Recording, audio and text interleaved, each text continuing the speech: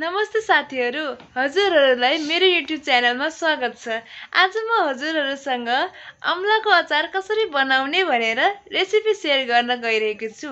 आशा गर्दछु कि हजुरहरूलाई अवश्य मन पर्नेछ लेट्स गो एन्ड स्टार्टेड अम्लाको अचार बनाउने बेलामा हामीहरूलाई यी कुराहरू चाहिने गर्छ।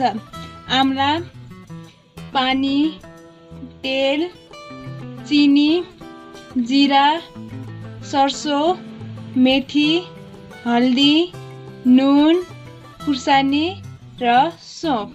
त्यसपछि हामीहरू ग्यास अन गर्नेछौँ र पानी बोइल गर्नको लागि राख्नेछौँ। आइसकेपछि हामीहरूले यसमा अम्ला राख्ने। यसले गर्दा अम्लाको जो तितोपन हुन्छ त्यो सबै हट्ने गर्दछ।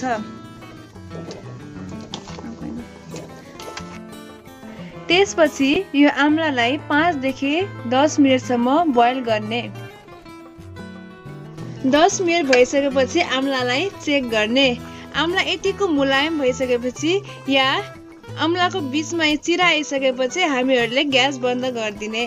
त्यसपछि आम्लालाई चिसो पानीमा एकचोटि धुने। त्यसपछि कराईलाई बसाल्ने।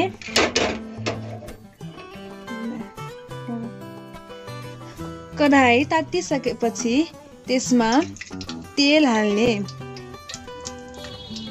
तेल हालिसकेपछि जिराको दाना सर्सोको दाना र मेथीको दाना हाल्ने।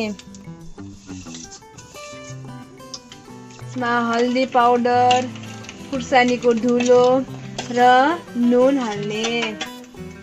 हालिसकेपछि आम्लालाई यसमा राम्रोसँग मिक्स गर्ने मिक्स गरिसकेपछि सोपलाई यसमा हाल्ने। सोपलाई पनि राम्ररी यसमा मिक्स गर्ने। त्यसपछि चिनीलाई हालेर पाँचदेखि सात मिनटसम्म यसलाई मिडियम या लो फ्लेममा पकाउने।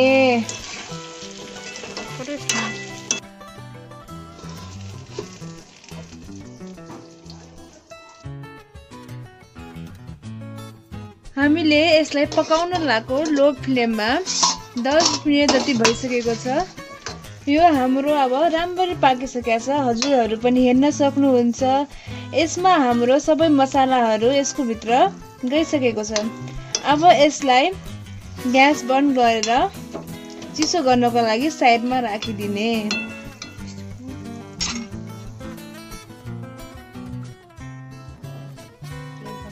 यो अम्ला हाम्रो चिसो भइसकेको छ। अब यसलाई हामीहरू डब्बामा प्याक गरेर राख्छौँ। यो अम्लाको अचारलाई हामीहरूले दुईदेखि तिन महिनासम्म स्टोर गरेर राख्न सक्छौँ।